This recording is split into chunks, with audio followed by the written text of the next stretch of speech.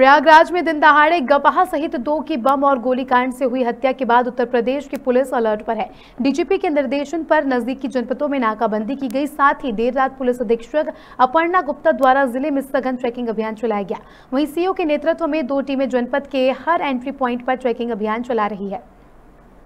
बता दें कि प्रयागराज में पूर्व बीएसपी विधायक राजू पाल हत्याकांड के गवाह उमेश पाल और उनकी सुरक्षा में तैनात दो पुलिसकर्मी पर ताबड़तोड़ फायरिंग की गई थी, जिसमें उमेश पाल और एक जो है, गनर की मौत हो गई। इस अभियान में गैर जनपदों के वाहनों की ट्रैकिंग की जा रही है।